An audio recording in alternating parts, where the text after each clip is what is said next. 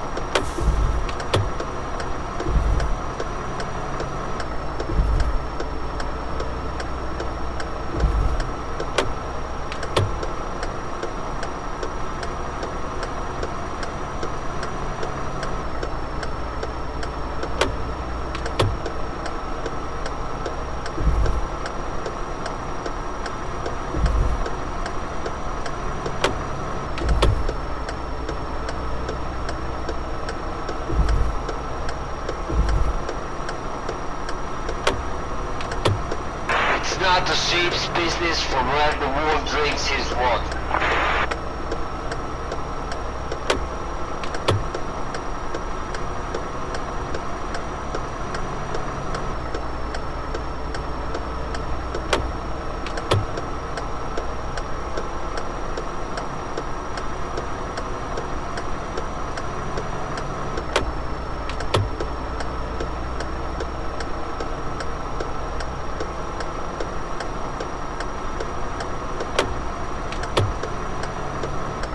Almost there.